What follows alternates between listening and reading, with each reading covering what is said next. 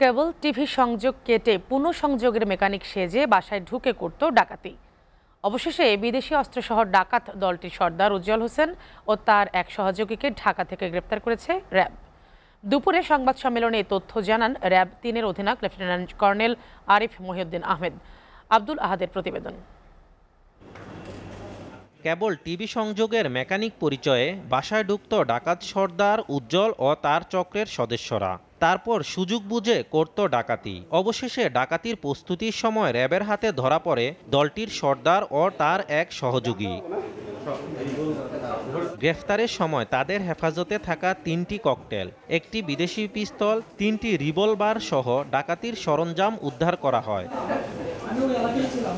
রাজধানীর কাউরান বাজার মিডিয়া সেন্টারে আয়োজিত এক সংবাদ সম্মেলনে র্যাব জানায়, ড্যামরা এলাকায় একটি ভবন টার্গেট করে ডাকাত চক্রটি। ডাকাতির প্রস্তুতির সময় তাদের গ্রেফতার করা হয়। তার দলের অন্যান্য সহযোগীরা, তারা শ্রমিক সেজে বিভিন্ন বাড়িতে তারা রেকি করত এবং ডাকাত সর্দার উজ্জ্বল তার দলের অন্যান্য সহযোগীদের নিয়ে বিভিন্ন এলাকায় শ্রমিকের ছদ্মবেশে ঘুরে বেড়াতো এবং ডাকাতির জন্য রেকিপূর্বক তারা বাড়ি টার্গেট করত। ডাকাতি প্রস্তুতকালীন সহ সময়ে আমাদের টিম কর্তৃক তারা ধৃত হয়। তিনি আরও জানান ডাকাত দলটি ডাকাতির পাশাপাশি মাদক ব্যবসায়ের সাথেও জড়িত ছিল।